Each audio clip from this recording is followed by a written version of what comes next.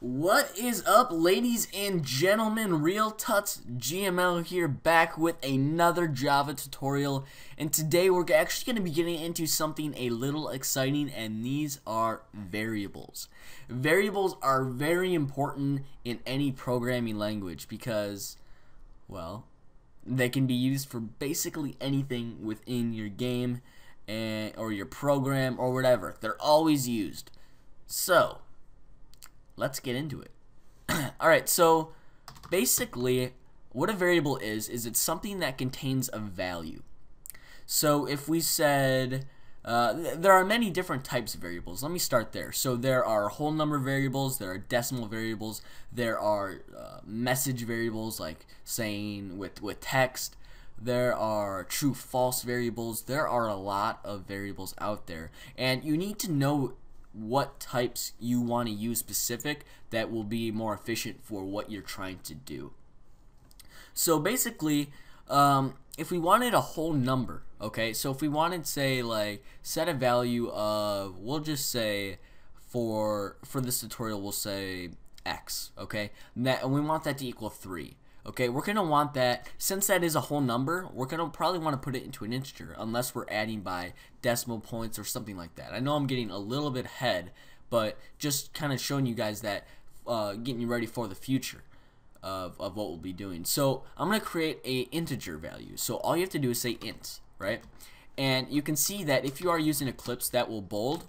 And after this, we're going to put what we want to call the variable. So I'm just going to say x. This can be anything, right? And we're going to equal it to, we'll say 10. and might I stress the semicolons? Uh, if if you don't have a semicolon after a statement or a line of code, you may get an error, and well, nine times out of ten, you're going to get an error, and you're probably going to want to put a semicolon there because these are needed, and that's to tell Java that it's the end of that line. So basically in x equals 0. We now have a successful variable.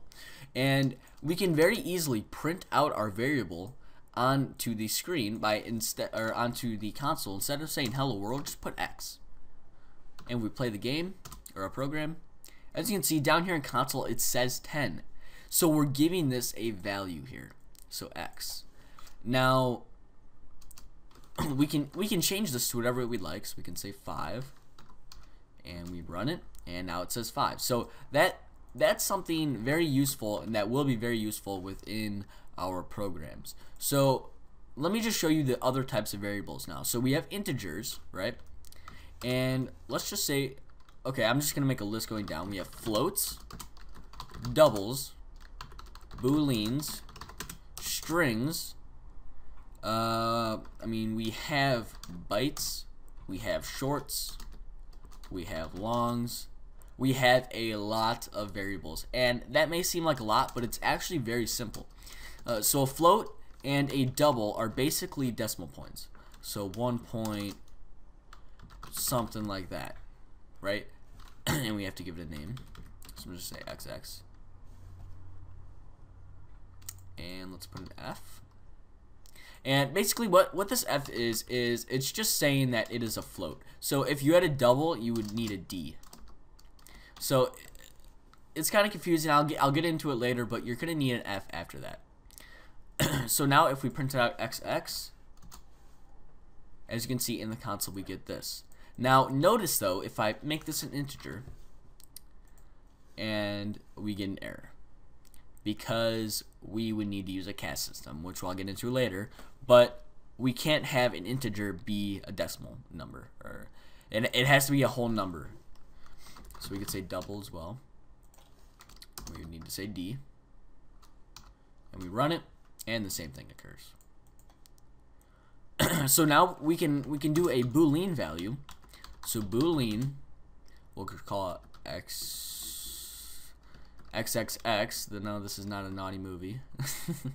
uh, and we can we can give this a false or true. So these these are very helpful, uh, and I'll show you why a little bit more on in the later tutorials. But these can be very helpful. So if we say false and we print out that variable, we run it, it'll say false. So there we go. and we can do now a string and we'll just use a for now. And this equals and you're gonna need quotations. And we can say hello world.